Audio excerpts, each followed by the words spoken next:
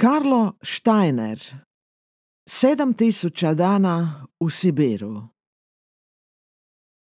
Od majčice Volge nasjedi Jenisej.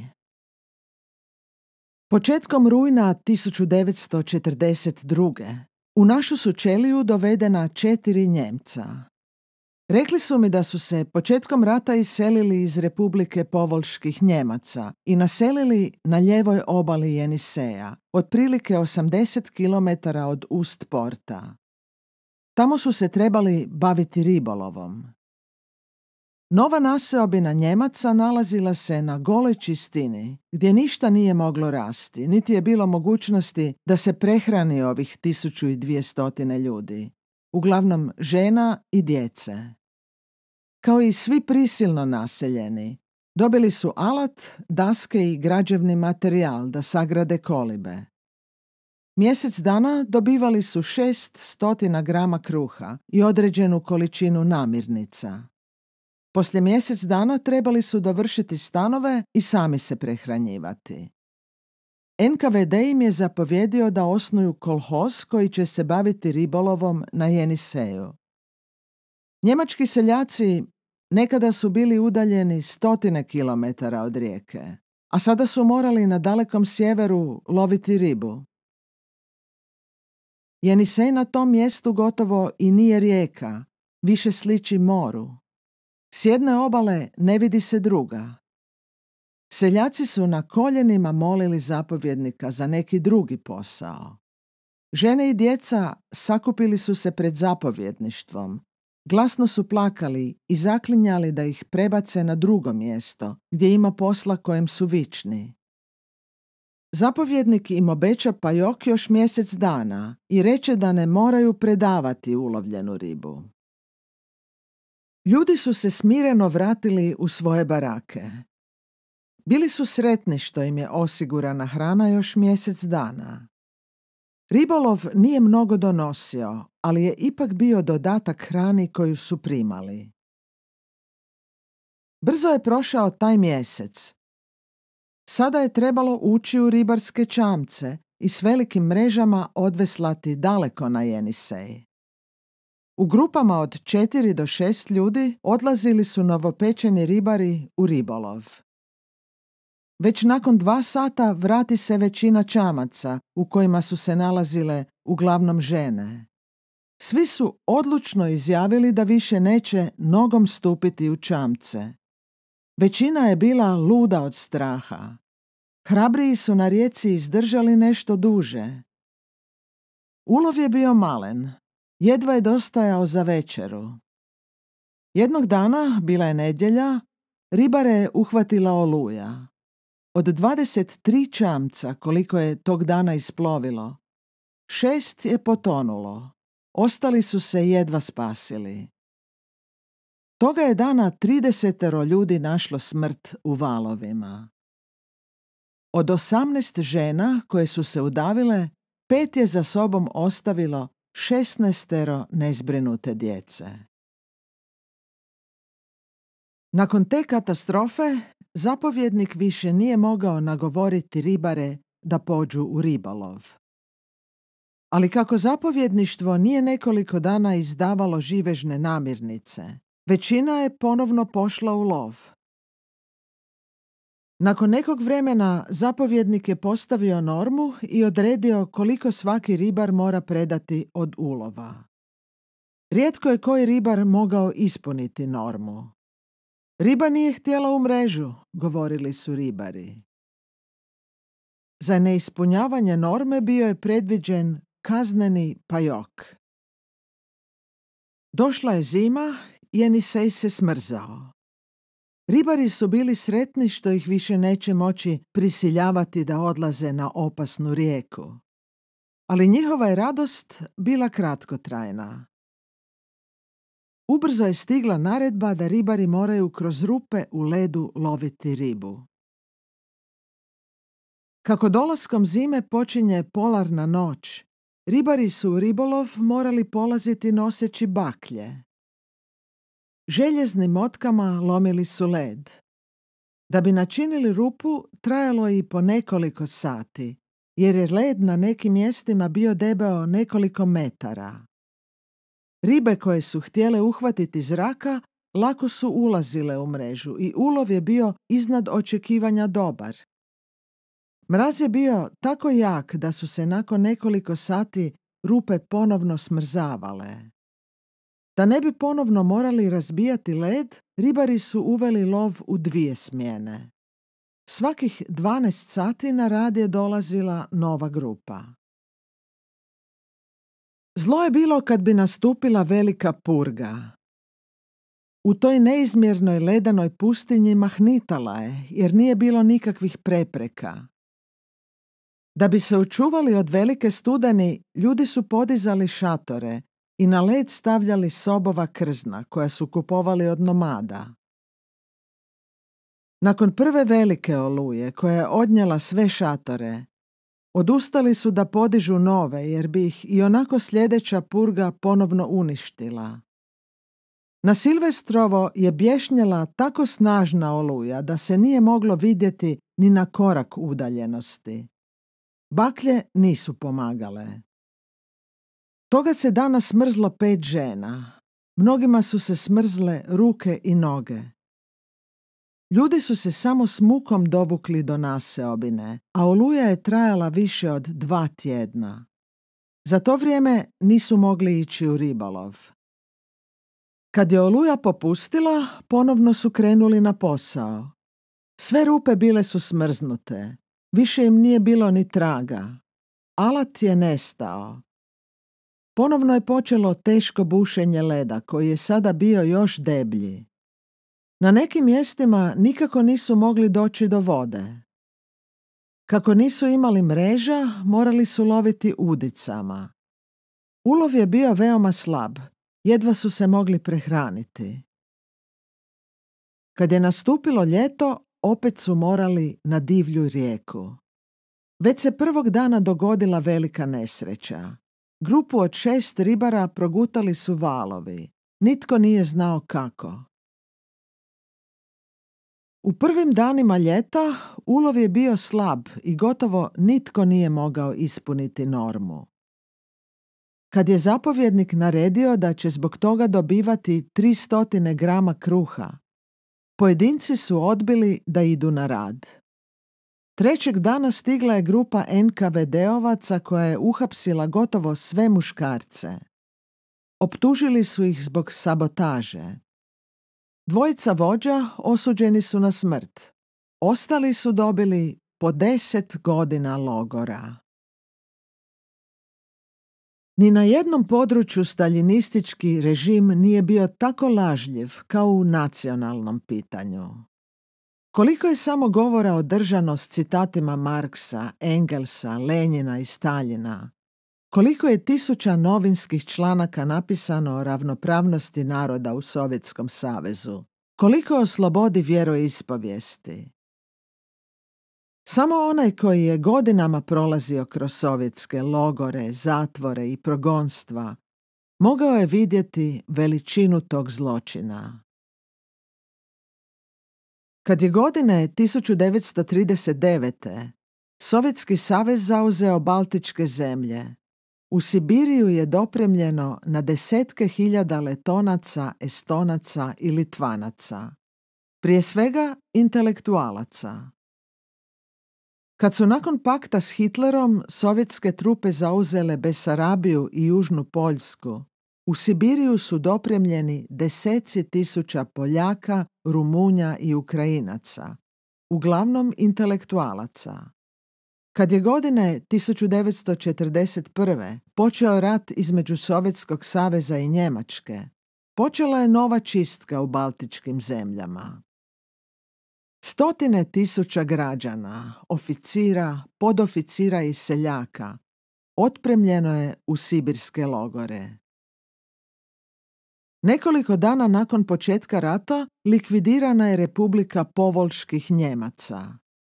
Njemačko stanovništvo ovih predjela, uključujući djecu i starce, pa i članove vlade Republike, otpremljeni su u Sibir i na daleki sjever. Istu sudbinu doživjelo je ostalo njemačko stanovništvo u europskom dijelu Sovjetskog saveza. Jedan je dio dospio u zatvore i logore, drugi u progonstvo. Nakon svršetka rata takvim se čistkama nastavilo još temeljitije. Iz baltičkih zemalja i Poljske ponovno je potekla rijeka nesretnika prema sjeveru i istoku Rusije. Ako je broj deportiranih prije rata iznosio nekoliko tisuća, sada se popeo na milijune. Danju i noću mogli su se vidjeti teretni vlakovi prepuni ljudi najrazličitijih naroda. Ponovno je velik broj otpremljen u zatvore, a ostali u progonstvo. Od malih kafkatskih naroda u Sibiru naselili su Čečene, Inguše, Balkare, Karačaje, a Skrima Tatare, iz Ukrajine Bugare. Istu sudbinu doživjeli su i Kalmici. Ovi ljudi koji su stotinama godina nastavali ova područja, morali su ih poslije rata napustiti da bi u ledenim pustinjama sjevera služili kao gnojivo staljinističkoj ekspanziji. Strahoviti zločini koje je Hitler počinio protiv židova potresli su svijet. I danas svatko zna da je Hitlerova banda u plinskim komorama, krematorijima i drugim sredstvima ubijala milijune židova. Ali malo ljudi zna da je broj židova koji su pali kao žrtve staljinističkog režima još veći. Ne sjećam se ni jedne zatvorske čelije u kome nije bio velik postotak židova. Danas se zna za kakve su zločine bili optuženi židovski liječnici u Moskvi, koji su samo slučajno ostali u životu jer je Staljinova smrt spriječila njihovu likvidaciju. Ali tko zna za sudbinu stotina tisuća židova koje su optužili i osudili za iste zločine i koji su strijeljani ili su umrli u logorima. Kad je u Sovjetskom savezu počela velika čistka, stotine hiljada židova uhapsili su kao trockiste, a kad su bile zauzete Baltičke zemlje, Južna Poljska i Besarabija, mnogi su židovi kao cionisti prognani na sjever. Potkraj 1940. godine u Norilsku se nalazio velik broj inostranih komunista, uglavnom Njemaca. Većina ovih ljudi aktivno je djelovala u komunističkom pokretu. Kad je Hitler osvojio vlast, oni su pobjegli u Sovjetski savez. Mnogi su radili u tvornicama, mnogi su bili zaposleni u ratnoj industriji i živjeli su prilično dobro. Kao i svi građani ove zemlje, i oni su se nalazili pod kontrolom NKVD-a.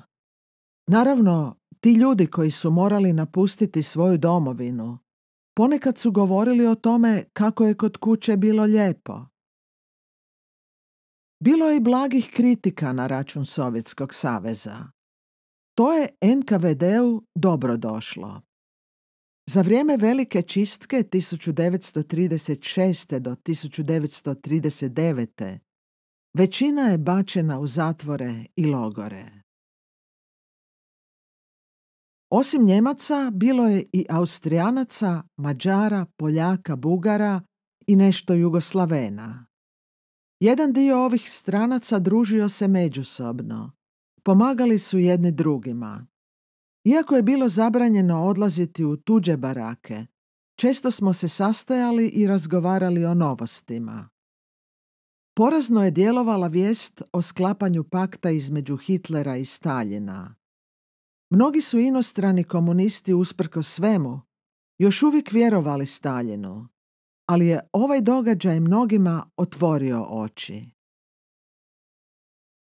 Često sam polemizirao s Blagojem Popovom, koji je zajedno s Dimitrovom i Tanjevom bio jedan od sudionika na Leipciškom procesu povodom paleža Reichstaga.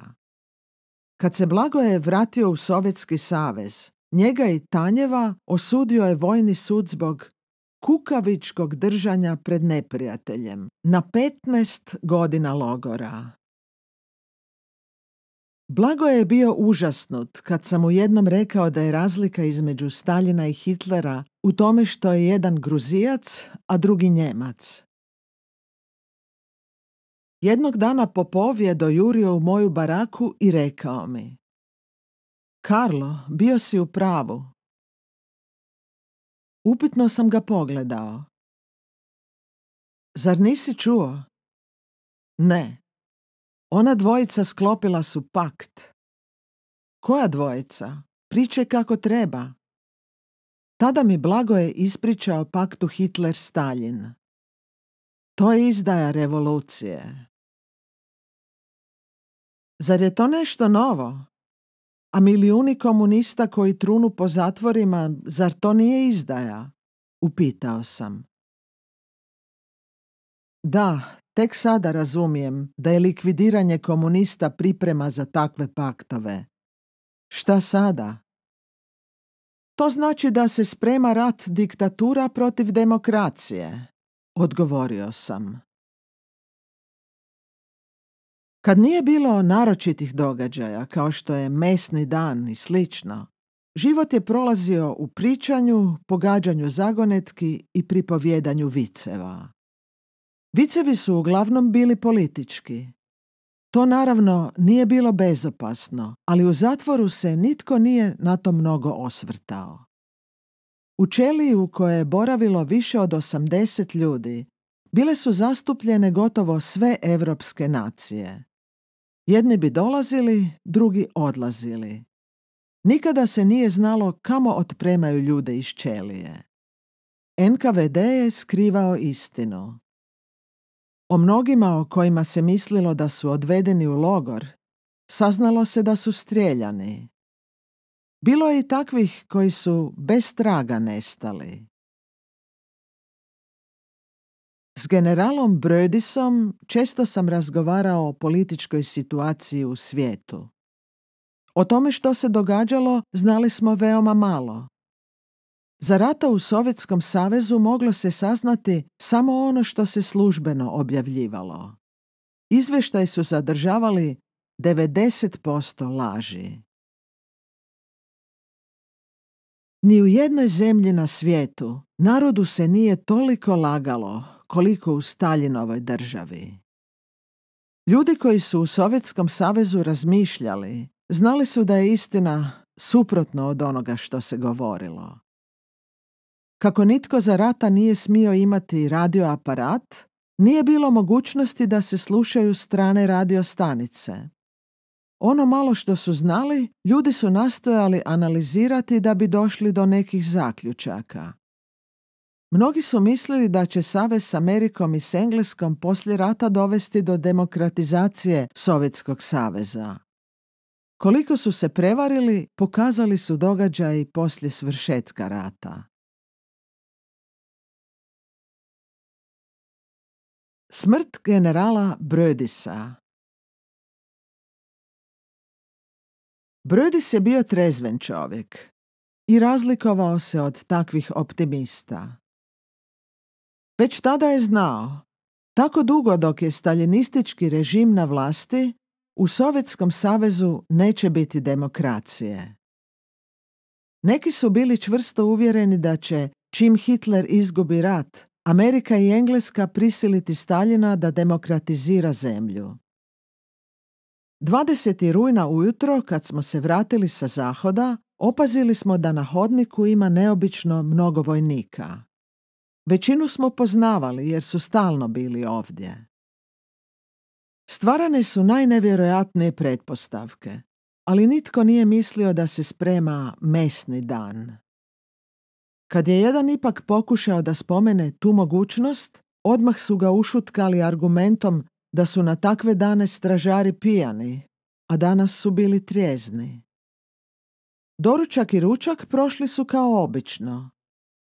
Prilikom dijeljenja ručka zatvorenici su nastojali zapovjednuti razgovor sa stražarima, ne bili ustanovili jesu li pili. Ne, nisu bili pijani. Poslije ručka neki su zatvorenici, među njima i general Brödis i kapetan Rüberg, pozvani u zatvorski ured. S velikim nestrpljenjem očekivali smo njihov povratak. Nije prošlo ni 15 minuta, svi su se vratili. Govorili su da su ih stavili u redove po trojicu i fotografirali. To nas je umirilo. Većina stanovnika Čelije broj 14 više nije bila pod istragom. Složili smo se da će oni koji su fotografirani uskoro doći pred sud, jer je bilo uobičajeno da se svakom novom spisu priloži fotografija optuženog. Jedini koga je fotografiranje uznemirilo bio je general Brödis. Povukao se u kut, kako je uvijek postupao kad je želio razmišljati, i poslije dva sata je ustao i obratio mi se. Gospodine Steineru, zar vi vjerujete da su nas fotografirali zbog predstojeće sudske rasprave? Postoji mogućnost da predstoji etapa, ali u to sada ne vjerujem. Rat je i nikoga neće otpremati iz Norilska. Ne, vi se varate. To je nešto drugo. U svakom slučaju neće biti ništa strašno, odgovorio sam. Strašno je, možda su me posljednji put fotografirali. Trudio sam se da ga umirim, iako sam predosjećao da dolazi ono najgore. Sjetio sam se da su jedne nedjelje, kad su streljali mnoge kriminalce, dan prije toga u našoj čeliji fotografirali nekoliko kandidata smrti. Ni oni nisu slutili da ih posljednji put fotografiraju. Dva sata nakon našeg razgovora iz Čelije su izveli dvojicu od osmorice koje su fotografirali. Nadglednik je prozvao njihova imena, a kad su se javili, rekao je Sa stvarima. Iz kutova se čulo. Vraćaju se u logor. Čuli smo kako otvaraju i druge čelije. Kod nas su mnogi bili uvjereni da veća grupa zatvorenika odlazi u logor. Neki su se obraćali onima koji su fotografirali i davali im različite zadatke koje treba da posvršavaju kad stignu u logor. Činilo se da se ništa naročito ne događa. Jedni su dolazili, drugi odlazili, to je bila svakodnevna pojava. Tada se dogodila greška u režiji. I NKVD ponekad pogriješi. Otvorila su se vrata naše čelije, ušlo je nekoliko vojnika. Jedan je u ruci držao krušku. Vojnici u nas gledali, a jedan reče. To nije petnesta. Psovali su nadglednika koji je otvorio krivu čeliju i brzo su izišli. Nastala je grobna tišina. Odjednom jedan kriminalac glasno reče. To je etapa za drugi svijet. Od šestorice fotografiranih koji su ostali u čeliji, samo su dvojica ostali mirni. General Brödis i kapetan Rüberg. Jedan letonski oficir tako je glasno stenjao da su ga nazvali kukavicom. Ni ostala trojica nisu se junački držali. Do ponoći su izvlačili ljude iz čelija. Pritom su se događale užasne scene. Čuli su se krici, plać, udarci ključevima. U čeliji te noći nitko nije spavao. Osjećali smo da i u drugim čelijama vlada veliko uzbuđenje. Čuli smo kako se žrtve opraštaju od drugova. Prašćajte, tavariši. Drugovi bi u zboru odgovarali. Prašćaj. Poslije ponoći čuli smo kako su u dvorište zatvora ušli kamioni. Oko pet sati ujutro nastupila je potpuna tišina. Bio sam sretan što je strašna noć prošla. Kad su nas rano ujutro odveli u zahod, nisam opazio ništa izvanredno. Nadglednici su kao i obično polako šetali hodnikom gore dolje. Jedan od nadglednika stajao je pred vratima i promatrao kako zatvorenici sjedaju na otvor. S vremena na vrijeme čulo se vikanje. Brzo, brzo! Pošto smo primili četiri stotine grama kruha, pojeli smo ga bez žurbe, pijući kipjatok. Poslije doručka primijetio sam kako general Brödis sve svoje stvari skuplja u zamotuljak. Papuče na kojima sam mu uvijek zavidio, skinuo je s nogu i stavio u zamotuljak. Zatim mi priđe i pruži mi sve to govoreći. Vi ste bili moj prijatelj. Molim vas, uzmite to za uspomenu. Meni više neće trebati. Nisam htio primiti. Nastojao sam ga uvjeriti da će još dugo vremena živjeti. Ali sva moja nastojanja bila su uzaludna. Dragi prijatelju, vidite što se događa. Znam da su mi časovi odbrojani. Vama ove sitnice mogu dobro doći. Ako ih ne uzmete, past će u ruke krvnicima. Molim vas samo jedno. Ako budete imali sreću da to preživite i vratite se u Europu, pronađite moga oca i sve mu ispričajte. Ako ne nađete mog oca, ispričajte mojim zemljacima kako smo platili lakovjernost. Upozorite Europu što se ovdje događa. Završi Brödis. Obećao sam generalu. Bilo mi je strahovito teško. Nastojao sam da to ne primijeti. Obećanje, nažalost, nisam mogao ispuniti, jer je Estonija još uvijek dio Sovjetskog saveza. Bilo bi opasno da taj stari čovjek, ako je uopće živ, primi pismo iz inozemstva. Što se tiče svjetske javnosti, nadam se da je moja knjiga dokaz da sam održao obećanje koje sam dao generalu Brödisu i ostalim žrtvama. Brödisove stvari nisam primio. Hrabar čovjek nije smio ostati bez nade ali više nisam vjerovao da ćemo ostati u životu.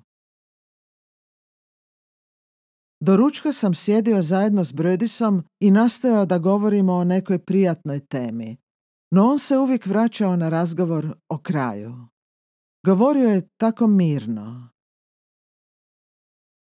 Za dijeljenja ručka došlo je do incidenta. Brödis, Rüberg i ja bili smo posljednji na redu. Brudi se još dobio juhu, a kad je Rüberg pružio ruku da primi jelo, nadglednik odjednom reče Svi i zatvori vrata. Tako smo Rüberg i ja ostali bez ručka. Dugo smo lupali po vratima. Ušao je nadglednik. Objasnili smo mu da nismo dobili jelo, ali on bez riječi zatvori vrata. Lupali smo i dalje. Prošlo je mnogo vremena prije nego što je ponovno došao. Rüberg, koji je stajao ispred mene, molio ga je da nam dade juhu. Zatvorenici su vikali sprična. Dajte im jelo, ništa nisu dobili. Umjesto odgovora, nadglednik Rüberga udari čizmom u cjevanicu i opsuje. Fašisti, nahranit ćemo mi vas. Krvareći i šepesajući, Rüberg ode do vrata, a ja sam ga slijedio. Neki su me zatvorenici stali nagovarati da i dalje tražim svoje jelo. Danas dvojica nisu dobila jelo, sutra će ih biti deset. I to sve zbog toga što oni tamo ne znaju brojiti. Vikali su ljudi. Pod pritiskom zatvorenika ponovno sam pošao prema vratima. Nadglednik ih otvori jer sam prilično dugo lupao. Bez riječi me uhvati za ruku, izvuče na hodnik i stade me šakama udarati po glavi. Pritom je vikao. Evo ti tvoje juhe, evo ti i kaše. Stao sam glasno vikati. Tada me bace u karcer. Karcer se nalazio na drugom kraju hodnika gdje su bile i čelije smrti. Otvorili su željezna vrata s rešetkama. Bila je to dugačka i potpuno mračna prostorija. Crvena svjetiljka koja se nalazila nad vratima davala je tako malo svjetla da se nije moglo vidjeti gdje ćelija svršava. Kad su mi se oči privikle na tamu, vidio sam kako u kutu na betonskom podu leži neki čovjek. Prišao sam mu. Učinio mi se poznatim, ali nisam znao tko je to. Čovjek mi pruži ruku i zamoli me. Pomogni mi da ustanem. Tek tada sam ga prepoznao. I on mene. Bio je to Pečatnikov, lenjingradski radnik koji je za građanskog rata upoznao Trockog. Kad je Trocki napustio Rusiju, Pečatnikova su poslali u izgnanstvo. Godine 1935. uhapsili su ga i osudili na deset godina logora. Kaznu je odsluživao u Norilsku. Kad je počeo rat, prebacili su ga iz logora u zatvor i ponovno izveli pred logorski sud, koji ga je zbog širenja neistinitih vijesti optužili su ga da je nekim zatvorenicima rekao kako je Hitlerova armija zauzela Harkov. Osudilo na smrt. I vi? upitao me. Time je mislio da sam i ja osuđen na smrt. Ispričao sam mu zbog čega su me zatvorili. Čudno, rekao je. Kad sam ga upitao zašto su njega bacili u karcer, odgovorio mi je. Vjerojatno će me sada strijeljati. Zar niste uložili priziv? Upitao sam. To bi bilo uzalud. Odgovori. Od pečatnikova sam saznao da su ga s još četvoricom izvukli iz čelije smrti i da otad leži u karceru. Druge su već strijeljali. Zašto i on nije došao na red, to nije mogao objasniti. Jedva što sam progovorio nekoliko riječi, otvore se vrata karcera i uđe oficir NKVD-a Sakulin s dvojicom vojnika. Kad me ugledao, zaurlao je. Kako se zovete? Steiner, odgovorio sam. Kako je ovaj došao ovamo? Izdere se na nadglednika. Zatim se okrenuo prema meni i poviće. Marš napolje. Bio sam sretan što su me ponovno odveli u čeliju. Za mnom je išao pečatnikov. Pojenici su ga vodili ispod ruke. U čeliji nisam ništa govorio o susretu s pečatnikovim, jer sam znao da bi to izazvalo uzbuđenje. Čim su me pustili unutra, ponovno sam stao kucati na vrata. Pojavio se nadglednik. Ovaj put je bio drugi. Ispričao sam mu da danas nisam dobio ručak i zamolio ga da mi nešto dade. Iznenadio sam se kad mi je odgovorio. Pogledat ću. Poslije nekoliko minuta donio mi je riblju juhu. Odmah sam je progutao, iako je bila hladna. Upravo kad sam dovršio, otvorila su se vrata čelije. Ušao je zamjenik upravitelja zatvora i s neke cedulje pročitao ime jednog zatvorenika. Nitko se nije javio. On ponovi ime. Tada se jedva čujnim glasom javi čovjek koji je sjedio na donjoj prični. Uzmite svoje stvari i pođite za mnom, reče zamjenik. Čovjek se nije ni pomakao. Brže, nemam vremena, viknuo je zamjenik. Nemam stvari, odgovori žrtva. Plačući i dršćući čitavim tijelom, izlazio je i neprestano ponavljao. Zašto? Zašto? Zamjenik ga je gurao pred sobom.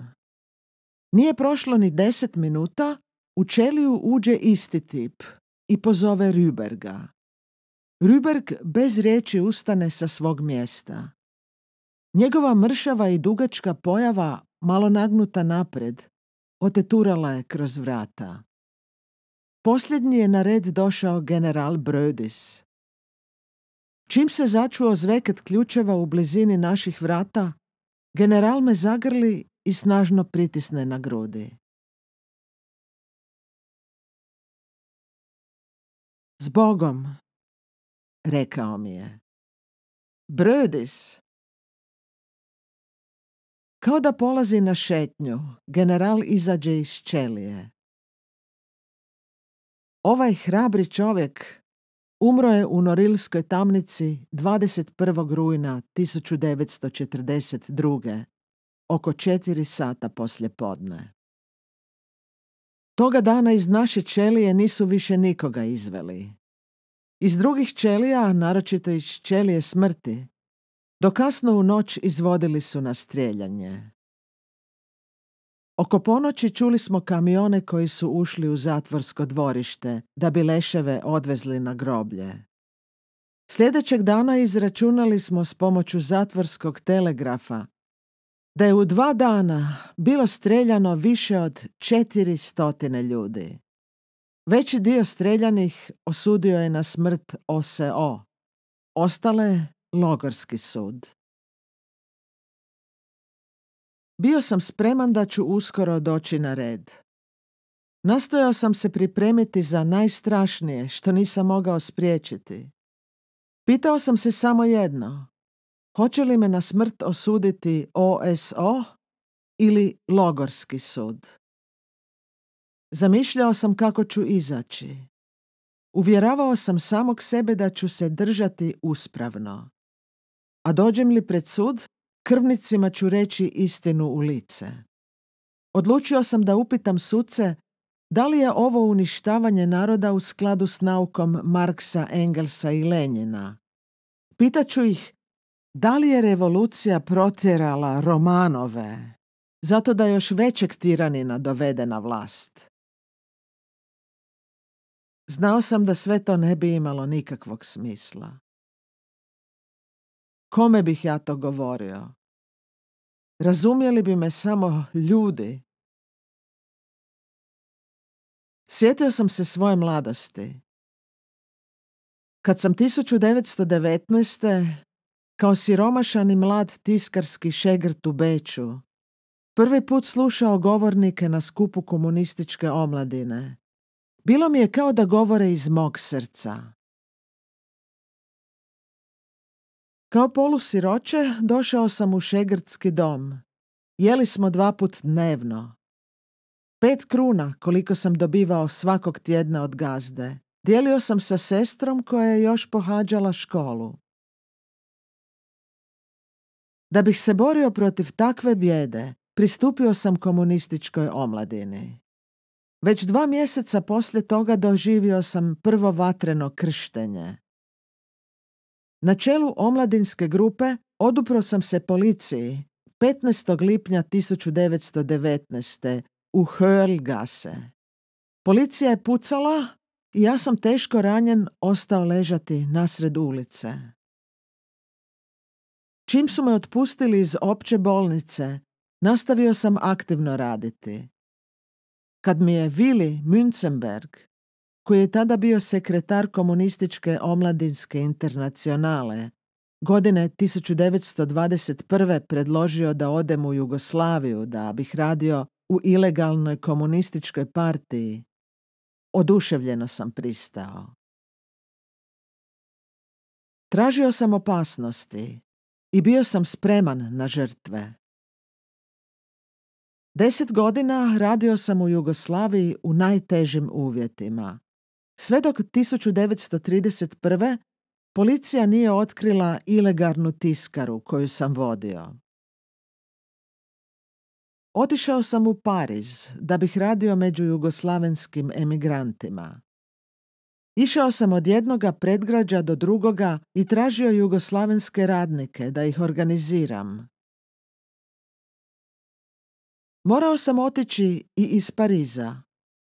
Na intervenciju tadašnjeg jugoslavenskog poslanika u Parizu Spalajkovića, Pariska me policija prisilila da napustim Francusku. Ponovno sam se vratio u Beč i osnovao tiskaru koja je komunističke partije balkanskih zemalja opskrbljivala literaturom. Zatvorili su me. Ništa mi nije bilo dragocijenije od komunističke partije. Kad sam 1932. došao u Sovjetski savez, bio sam najsretniji čovjek na svijetu. Napokon sam stigao u zemlju svojih snova. Ali kako sam se prevario?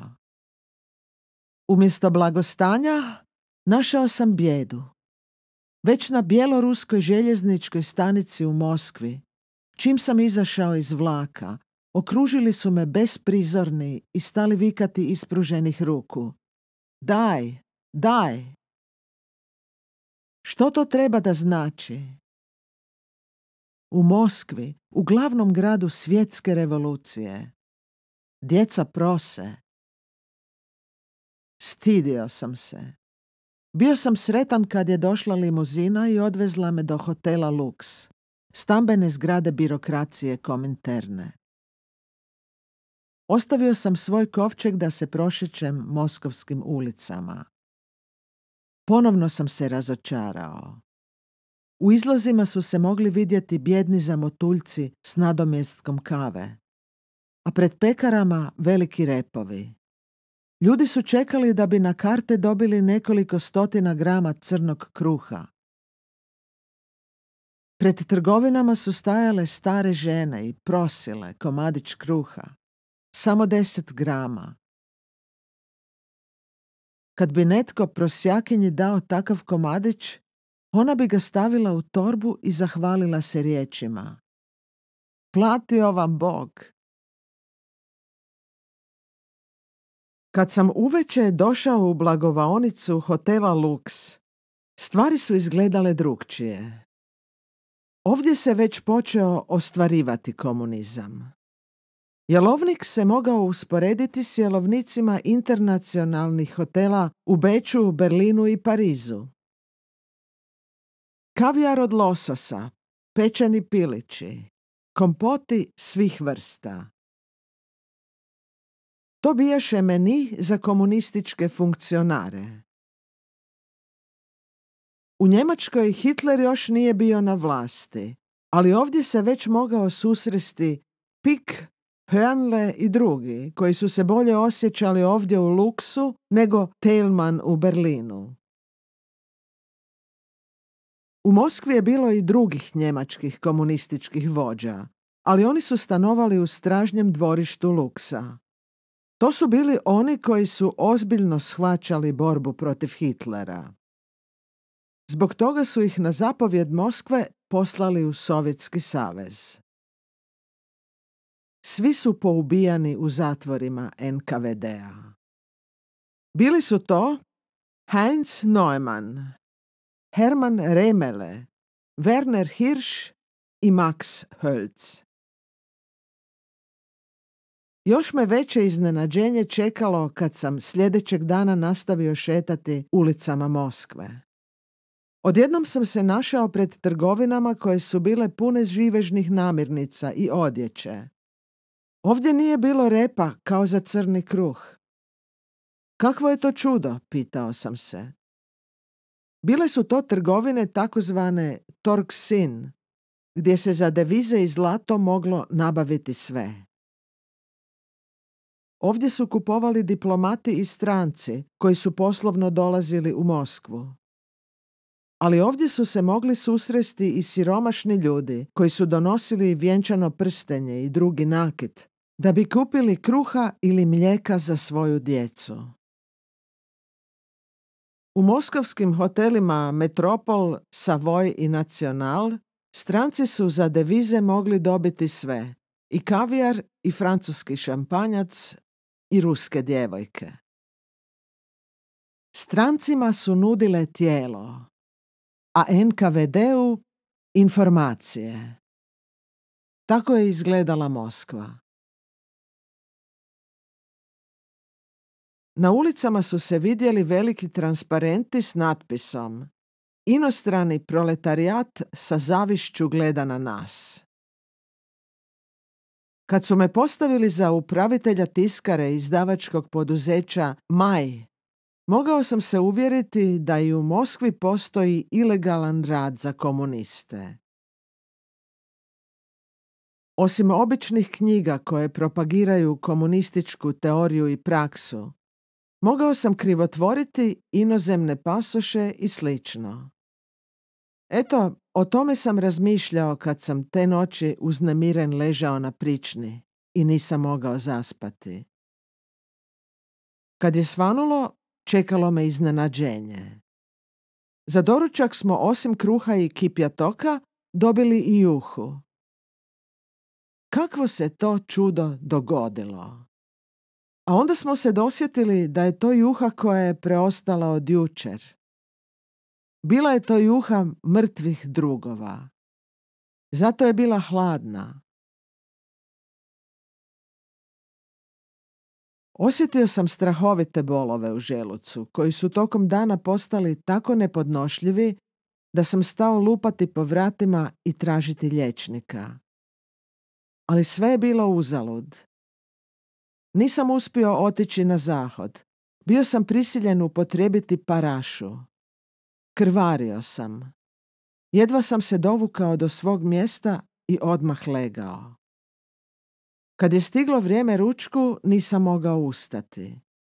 Drugovi su mi donijeli hranu, ali ja sam je prepustio njima. Iako su me žalili, bili su sretni što su dobili dodatak.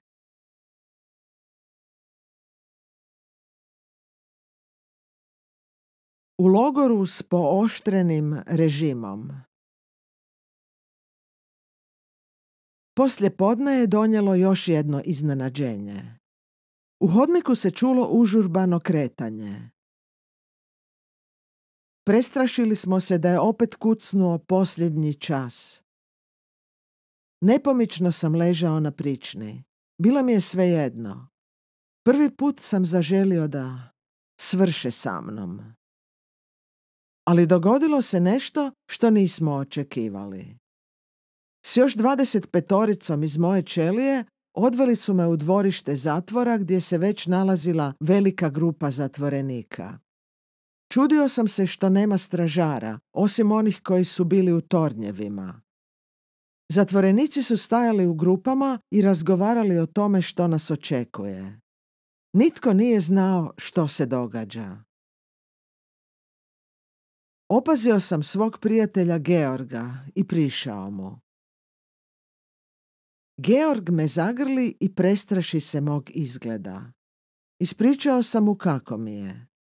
Nisam mogao stajati. Georg položi na zemlju svoj vatirani kaput na koji sam sjeo. Broj zatvorenika u dvorištu neprestano se povećavao.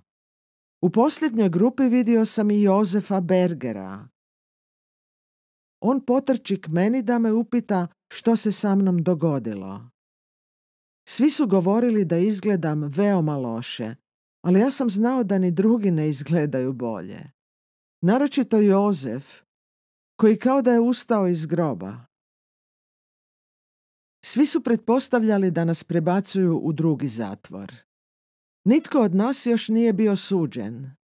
Neki su tvrdili da će nas odvesti na groblje i streljati. Napokon su se otvorila velika vrata zatvorskog dvorišta. S druge strane vidjeli smo veliku grupu teško naoružanih vojnika NKVD-a.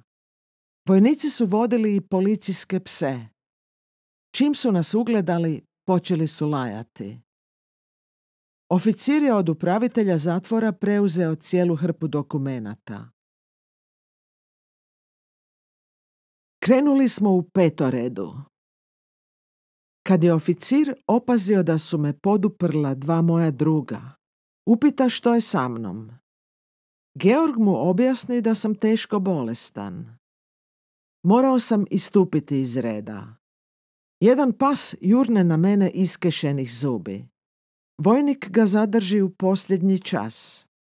Oficir objasni upravitelju zatvora da me ne može preuzeti jer ne mogu pješačiti. Čuo sam taj razgovor. Zamolio sam oficira da me ipak preuzme. On mi na to reče. Put je veoma dug i ja zbog vas ne želim da čitava grupa hoda tri sata. Prijatelji koji su me podupirali rekoše oficiru da će me bez zakašnjenja dovesti do cilja. Tek tada je pristao. Oficir glasno zapovjedi. Pažnja zatvorenici. Za vrijeme marša zabranjeno je razgovarati, prelaziti s jednog mjesta na drugo, jedan korak uljevo ili udesno smatrat će se pokušajem bijega. Stražari će bez opomene upotrijebiti oružje. Stražarima zapovjedi. Straža, spremna za borbu. Vojnici otkoče automate i puške. Naprijed marš. S nama su istovremeno krenuli i stražari. Psi su lajali. Put je vodio u suprotnom smjeru od groblja. U redovima zatvorenika čuo se uzdah olakšanja. Unatoč bolesti osjećao sam se bolje. Ali to nije trajalo dugo. Uskoro sam osjetio strahovite bolove i nisam mogao dalje. Čučnuo sam se i moji su me drugovi jedva držali da ne padnem. Oficir je opazio neobično kretanje u redovima i zapovjedi da stanemo. Zatim se približi. Moji mu pratioci rekoše da mi je veoma slabo. Dopustio mi je da sjednem na zemlju i da se malo odmorim. Nakon 15 minuta prišao je i upitao me. Kako se osjećate? Bolje mi je, odgovorio sam. Tek kad sam mu rekao da sam se odmorio, on zapovjedi da se krene dalje. Nakon nekoliko stotina metara ponovno osjetih slabost. Opet nisam mogao hodati. Prišao je oficir. Zamolio sam ga da mi dopusti da istupim iz reda. Kad mi je dopustio, hodao sam sa svoja dva pratioca pored kolone. Iz mene šikne mlaz krvi. Čuo sam kako zatvorenici govore. Taj neće dugo. Bilo mi je svejedno. Tog časa bio bih sretan da sam ostao ležati. Morao bih mirovati. Ali moralo se dalje. Kolona se kretala polako i oficir je nekoliko puta dolazio i pitao me mogu li hodati. Bio je već mrak kad smo se približili barakama. Bijaše to kasarna logorske posade. Činilo mi se da je trajalo čitavu vječnost dok nismo obišli ogradu od nekoliko redova bodljikave žice. Duž žice vidjeli smo stražarske tornjeve. Na krovovima su bili postavljeni reflektori koji su osvetljavali žičanu ogradu. Napokon smo stigli do velikih drvenih vrata. Nad njima je stajala tabla s natpisom Noril Lag NKVD SSSR sedmo logorsko odjeljenje. Stali smo pred vratima. Oficir je otišao u stražarnicu kraj ulaza. Nakon kratkog vremena se vrati i pozove me iz reda. Dva prijatelja odvedu me u stražarnicu gdje je već čekao liječnik. Liječnik je pitao što mi je. Odgovorio sam da me boli želudac i da imam proljev. On mi opipa puls i reče oficiru. Treba ga s mjesta otpremiti u bolnicu. Oficir mu odgovori da to nije njegova stvar i da će me najprije predati, a ovi ovdje neka sa mnom rade što hoće.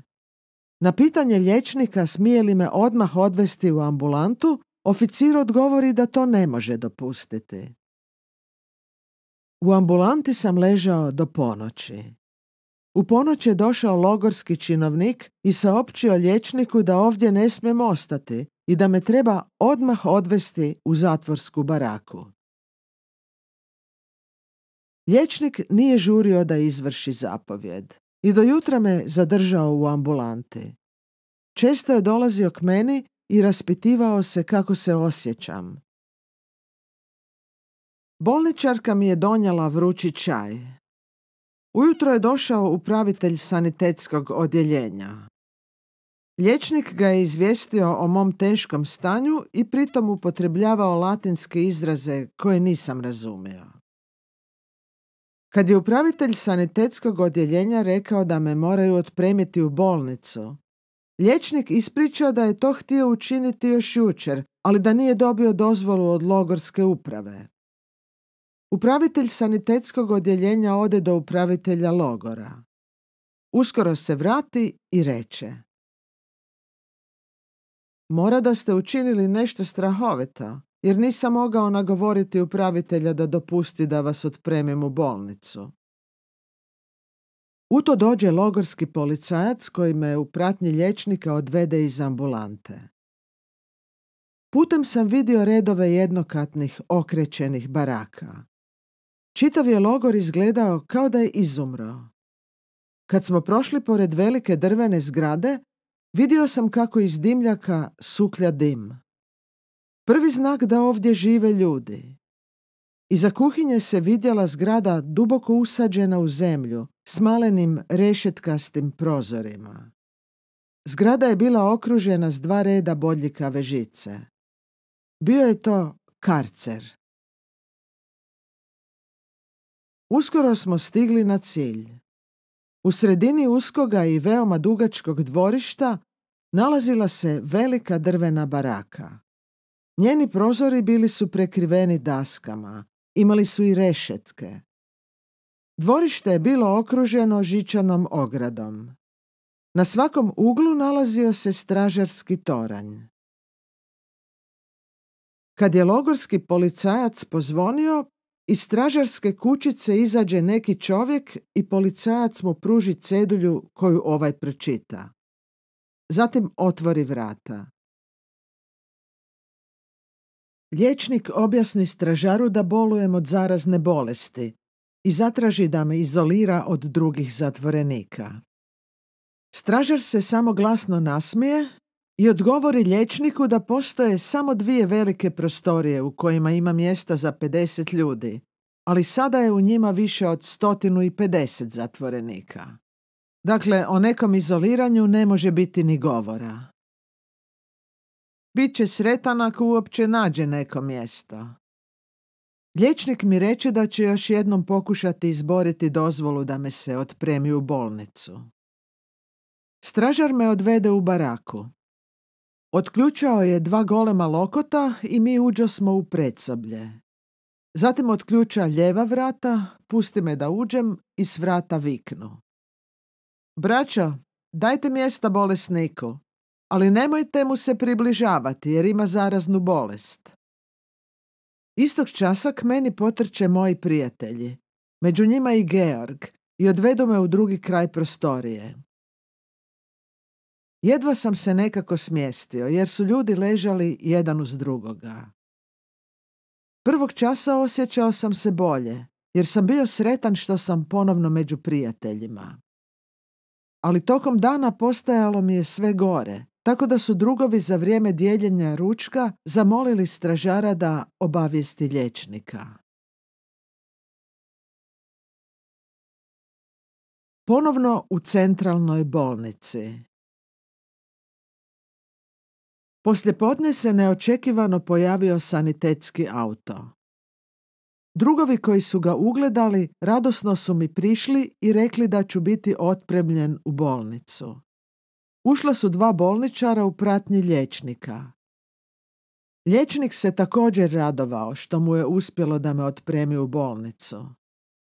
U brzoj vožnji prošli smo kroz Norilsk. Sanitetski auto zaustavio se pred zaraznim odjeljenjem centralne bolnice Norilskog logora. Ovdje sam sve dobro poznavao, jer sam prošle godine proveo dva mjeseca u kiruškom odjeljenju. Službujući liječnik temeljito me pregleda i naredi da me odvedu u dvoranu broj 2. Zarazno odjeljenje bilo je velika baraka sa četiri odjela. Tri odjeljenja imala su obične dvokatne prične, kao i sve logorske barake. Svaki je bolesnik imao slamaricu, jastuk i pokrivač. Bilo je veoma čisto. Uzeli su mi odjeću i dali mi čiste plave hlače i lagani kaput iste boje. Kako na donjoj prični nije bilo mjesta, glavna sestra odredi da lakši bolesnik ode na gornju pričnu, a ja sam dobio njegovo mjesto. Bio sam presretan što ležim na slamarici i što se nakon dugo vremena mogu pokriti pokrivačem. Sestra mi je donijela prašak koji sam popio, zatim sam zaspao. Uveče, kad je noćna smjena preuzimala službu, a dnevna je sestra noćnoj predavala novog bolesnika, prepoznao sam staru znanicu. Bila je to bečanka, Elze Kemp. Elzu sam poznavao još iz mladosti kad sam radio u komunističkoj omladinskoj grupi u 13. bečkom becirku. Elza je 1920. zajedno sa svojom sestrom došla u Moskvu. U prvo smo vrijeme dobivali pisma u kojima su nam sestre opisivale život u Rusiji. Zatim je dopisivanje prestalo. Kad sam 1932. ponovno došao u Beč, raspitivao sam se kod prijatelja što je s njima. Rekli su mi da su sestre doživjele nesreću kad su planinarile na Kavkazu. U Norilsku su mi pričali da se u ženskom logoru nalazi neka bečanka, čak su mi rekli ime, ali ja nisam ni pomislio da bi to mogla biti Elza Kemp. Čim je smogla malo vremena, Elza me posjetila. Elza, ti si ovdje? Upitao sam. Kao i ti. Odgovori mi na isti način. U Beću sam čuo da si na Kafkazu doživjela nesreću. Ja na Kafkazu? Nikad nisam bila na Kafkazu. Elza je s velikim zanimanjem slušala sve što sam joj pričao o svojim doživljajima. Ispričala mi je da se vjenčala s Rusom Oljenkovim. Bio je to jedan od Trockijevih sekretara. Kad je Stalin protjerao Trockoga u Tursku, Oljenkov je ostao u Moskvi da sredi njegov arhiv. Zatim je i sam namjeravao poći za njim. Kad je arhiv bio utovaren i Oljenikov se sa ženom spremao da napusti Sovjetski savez, pojavio se NKVD i tražio od Oljenikova da otvori sanduke. On je protestirao jer je na osnovu Staljinova obećanja Trotski mogao bez kontrole arhiv ponijeti u inozemstvo. NKVD-ovci su otišli, no nakon nekoliko sati ponovno su se vratili i uhapsili Oljenikova. Elza otada nije čula za svog muža. Nju su iselili u Srednju Aziju, gdje je jedno njeno dijete oboljelo od malarije i umrlo. Godine 1937. uhapsili su je i osudili kao trockistinju na deset godina logora. Istu je sudbinu doživjela i njena sestra. Mlađa Elzina kćerka koja je studirala medicinu izbačena je poslije majčina hapšenja s fakulteta i zaposlila se kao činovnica u kombinatu pamuka u blizini Lenjena Kana. Elzi sam pričao o Austriji jer od 1930. godine ništa nije čula o svojoj domovini. Sljedećeg dana Elza je došla rano u službu jer je, kako mi je rekla, izgarala od radoznalosti da čuje novosti. Tog sam danas saznao da moj prijatelj Keroši umire u susjednoj sobi. Htio sam ga vidjeti. Elza me odvela do druge strane hodnika. Službujuća sestra mi reče da je strogo zabranjeno ulaziti u tu prostoriju. Nakon dugog nagovaranja i Elzinih molbi, smio sam ući. Između kreveta na kojima su ležali bolesnici nije bilo prostora. Tražio sam kerošija. Iako sam dva put obišao sve krevete, nisam ga prepoznao. Zamolio sam sestru da mi ga pokaže. Odvela me do njegova kreveta. U prvi čas sam pomislio da se sestra zabunila, ali kad sam pažljivije pogledao bolesnika, prepoznao sam ga. Stajao sam neko vrijeme. To je Keroši. Što je preostalo od atletski razvijena čovjeka? Glava mu je izgledala kao u djeteta. Stajao sam neko vrijeme pred krevetom, sve dok Keroši nije otvorio oči. Na njegovim usnama pojavila se neka vrsta smješka. Prepoznao me i stao micati usnicama, kao da želi izgovoriti moje ime. Prišao sam mu bliže da bih ga mogao bolje razumjeti, ali ništa nisam čuo. Samo sam vidio kako pokreće usnicama. Bio sam sretan kad me sestra pozvala da izađem. Pružio sam mu ruku, ali njegove ruke koje su ležale pod pokrivačem ostale su nepomične. On jedva primjetno klimne glavom. Pitao sam Elzu od čega Keroši boluje. Reče mi da je u bolnicu dopremljen s dizenterijom. Ležao je u istoj prostoriji u kojoj se i ja nalazim. A kako je dobro govorio njemački, Elza je s njim rado razgovarala. Činilo se da se Keroši brzo oporavlja i da će uskoro ozdraviti. Kad mu je liječnik jednog dana rekao da će uskoro napustiti bolnicu, Keroši je na jednom još teže obolio. Sada je ležao u odjeljenju kandidata smrti. Na pitanje imali kakve nade, Elza mi reče da Kerošija može spasiti samo čudo. Liječnici su napustili svaku nadu. Liječnici više i ne ulaze u prostoriju u kojoj leži Keroši. Kerošijeva bolest ponovo me rastužila. Obuzele su me crne misli. Trećeg dana došao je činovnik bolničke uprave s nalogom da me se odmah prebaci u glavnu zgradu centralne bolnice. Liječnici nisu znali zašto. Kad su me dopremili u glavnu zgradu, zatvorili su me u odjeljenu sobu u kojoj su na prozorima bile rešetke kao u zatvoru. Vrata su uvijek bila zaključana. Kad bih nešto zatrebao, morao sam kucati i čekati glavnu sestru koja je jedina smjela ulaziti u tu sobu. Drugo osoblje smjelo je ulaziti u moju sobu samo s njom.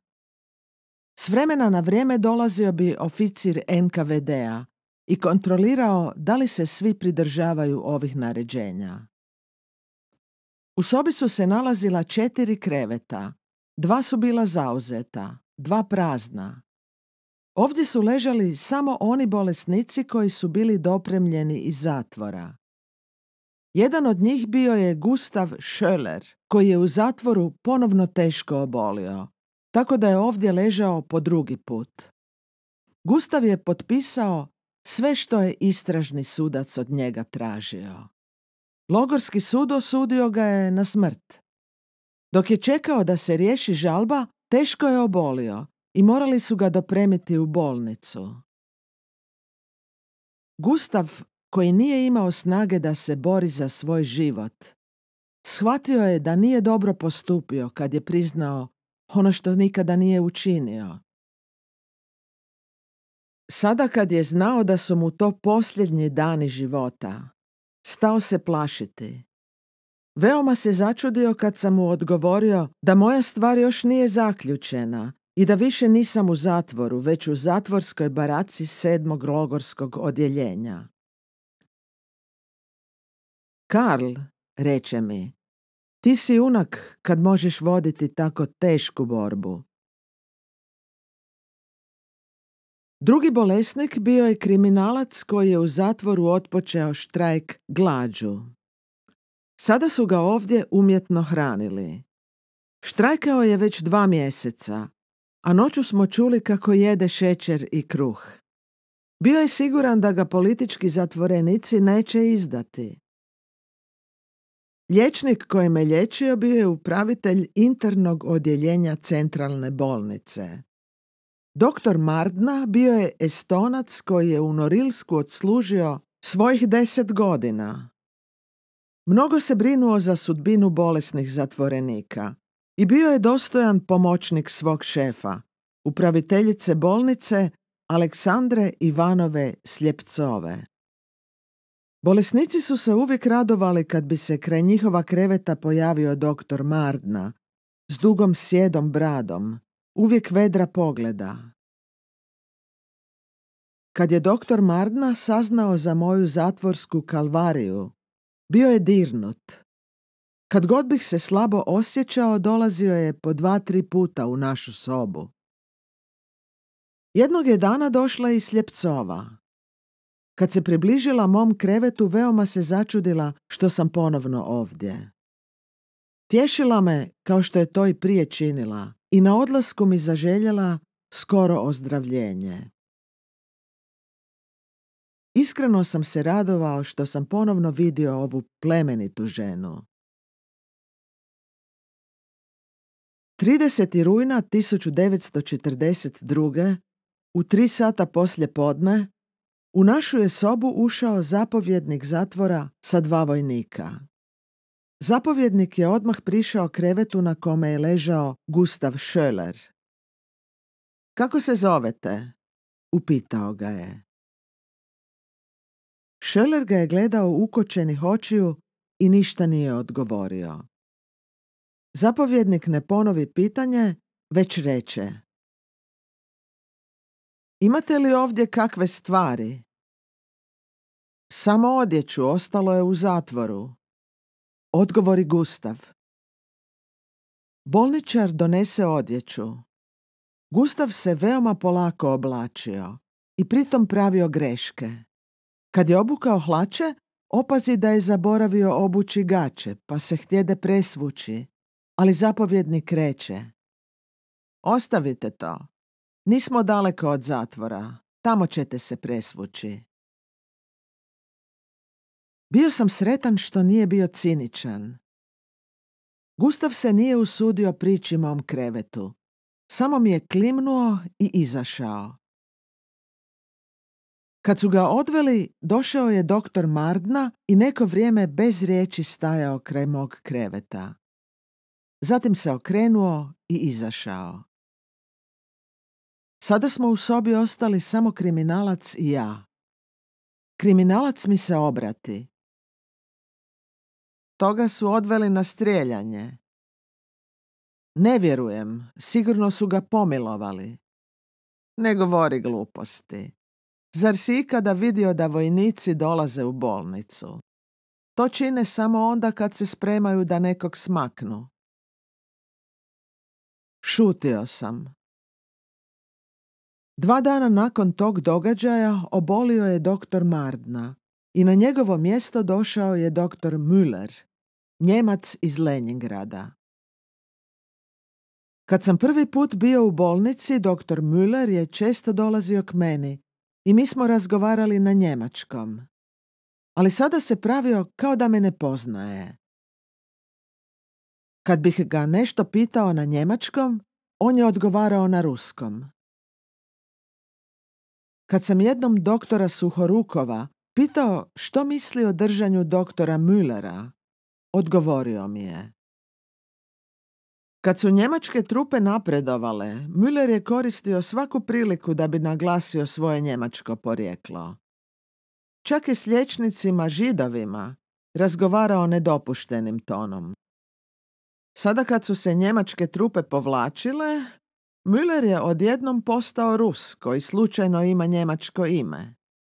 S kolegama židovima ponovno se bratimio izgražao nad zločinima Njemaca. Kriminalca koji je štrajkao glađu, Müller je neprestano psovao što sovjetskim vlastima zadaje toliko brige i njegovo je ponašanje nazivao neprijateljskim. Jednom dođe Suhorukov i donese mi platnenu vrećicu sa šećerom. To je poslala Olga, reče mi. Olga se nije usudila da me podsjeti, jer je bila pod prismotrom. Bolničar Marozov dobio je nalog od NKVD-a da pazi da li me Olga posjećuje i razgovara sa mnom. Marozov je to, međutim, ispričao Olgi, zamolivši je da ga ne oda.